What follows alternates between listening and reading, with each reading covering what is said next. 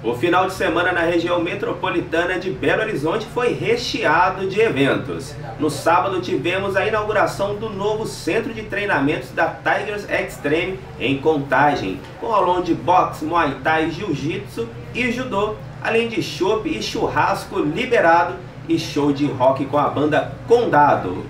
Também tivemos o seminário técnico de Muay Thai com Rangel Farias na Alcateia MMA em Belo Horizonte. Ainda no sábado tivemos a sétima edição do Desafio de Gigantes realizado na cidade de Betim, com lutas de boxe e Muay Thai. Ebert Galo se tornou o novo campeão de boxe até 67 quilos após vencer por pontos o então campeão Igor Leandro.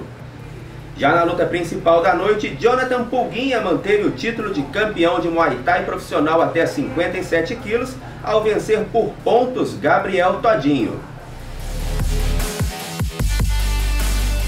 Destaque para a luta semiprofissional entre WS e RD que deram um verdadeiro show no ringue do Desafio de Gigantes, sendo uma das melhores lutas do evento. No domingo foi a vez dos Gigantes de Aço em Santa Luzia, com os combates de boxe, no-gi e kickbox. Destaque do evento para os novos campeões da organização. Temido no Muay Thai, Rafael Tedog mostrou todo o seu potencial na arte suave ao vencer Erickson Lequim e conquistar o cinturão de no-gi até 77 quilos. No boxe, Guilherme Augusto precisou de duas vitórias para conquistar o cinturão do GP de boxe até 60 quilos e Léo Tanque manteve o cinturão ao vencer Betão na grande final do GP peso pesado. Quem brilhou mais uma vez foi o atleta Riel da Full House, que vem de três nocautes consecutivos nos eventos P-Box e Gigantes de Aço.